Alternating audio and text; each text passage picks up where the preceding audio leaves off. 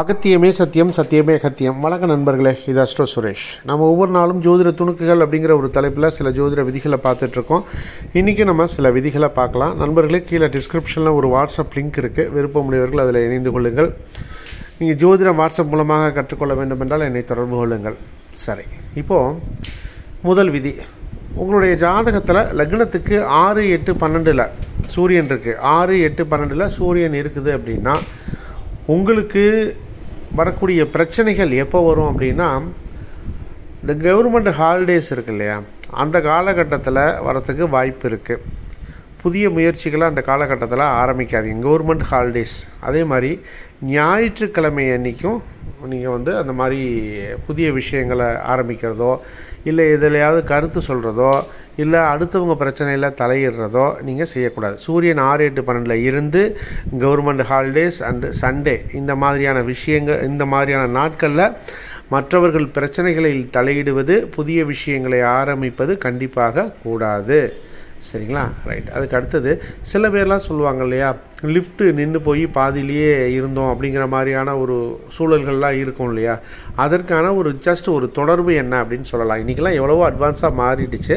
But இருந்தாலும் lift ஏதோ ஒரு தொழில் தொழில்முறை சம்மந்தமாக ஏதாவது ஒரு பிரச்சனை வந்து அது எலக்ட்ரானிக்ஸ் ப்ராப்ளம்லாம் வந்து ஏதாவது சர்க்கியூட் பிரச்சனை அது இதுன்னு வந்து பாதியிலே நிற்கும் அந்த மாதிரி அமைப்புனா செவ்வாய் சனிக்கு இது தொடர்பு இருந்ததுன்னா உங்கள் ஜாதகத்தில் லிஃப்ட்டில் போகிறப்ப இந்த மாதிரி பிரச்சனைகள் வரும். அல்லது லிஃப்ட்டில் போகிறத நினச்சாலே பயம் சில பேர்த்துக்கு வருது இல்லையா? லிஃப்ட்டில் சில பேர்லாம் போக மாட்டேம்பாங்க. அதுமாரி ஆளுகளுக்கு பாருங்கள் செவ்வாய் சனிக்கு எது தொடர்பு இருக்கும். ரைட் அதுக்கு அடுத்தது நகை அடமானம் வைக்கிறாங்கல்ல? நகை அடமானம் வைக்கிறது. சூரியன் வந்து ஆறு எட்டு பன்னெண்டு இந்த மாதிரி அதிபதியாக வந்து பாதகாதிபதியோட சம்பந்தம் கிடச்சி சரிங்களா? அதுக்கு அடுத்து புதனோட இணைஞ்சிருக்கு. சூரியன் ஆறு எட்டு பன்னெண்டு அதிபதி பாதக தொடர்பு புதனோட சேர்ந்துருக்கு. நாலாம் பாவத்தோடு ஏதாவது ஒரு கனெக்ட் ஆகிருக்கு நாலாம் இடத்துலையோ இல்லை நாலாம் அதிபதியோட தொடர்புலையோ இல்லை நாலாம் அதிபதி சாரம் வாங்கியோ ஏதோ ஒரு விதத்தில் நான்காம் அதிபதி கனெக்ட் ஆச்சு அப்படின்னா இந்த நகையை அடமானம் வச்சிங்க அப்படின்னா கண்டிப்பாக உங்களால் கட்ட முடியாது. நோட்டீஸ் வரும் அடமானம். அதாவது உங்களுக்கு அது முழுகி போகிறதுக்கான ஒரு வாய்ப்பு இருக்குது சரிங்களா? ரைட் அதே மாதிரி பொதுவாக சூரியன் ஆறு பன்னெண்டு கூடியது அமைப்பு இருந்தாலே யோசிக்கணும் நகையை அடமானம் வைக்கிறதுக்கு.